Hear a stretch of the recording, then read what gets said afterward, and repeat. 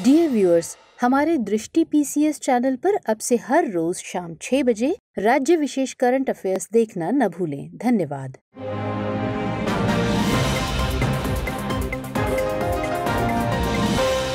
दृष्टि आई के daily current news programme में आपका स्वागत है। डेली करंट न्यूज़ में चर्चा का विषय है ग्रेबियल बोरिक होंगे चिली के अगले राष्ट्रपति।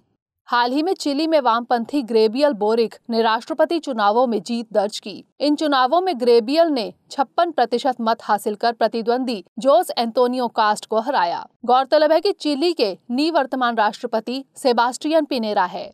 पैंतीस वर्षीय बोरिक मार्च में पदभार ग्रहण करने के समय चिली के सबसे युवा आधुनिक राष्ट्रपति बन जाएँगे। गौरतलब है कि राष्ट्रपति के लिए पहले दौर का चुनाव 21 नवंबर को हुआ था, जिसमें कोई स्पष्ट परिणाम नहीं निकला था। अब जान लेते हैं, चिली के बारे में।